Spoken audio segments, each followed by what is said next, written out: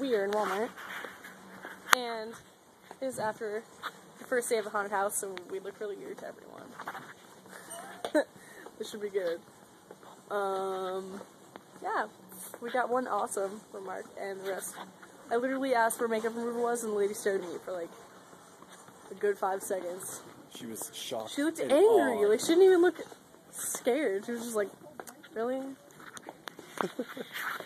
so people are people are losing it. they are. It's weird. Like, I'm not even that weed looking. well, that's debatable, but a good weird. And I don't know.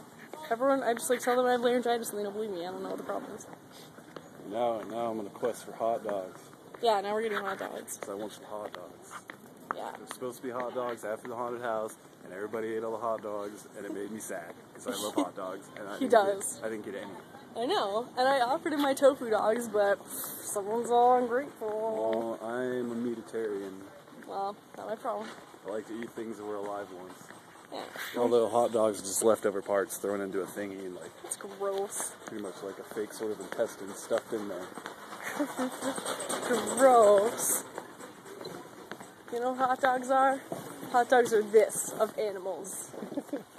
that. Okay, let's find some hot dogs.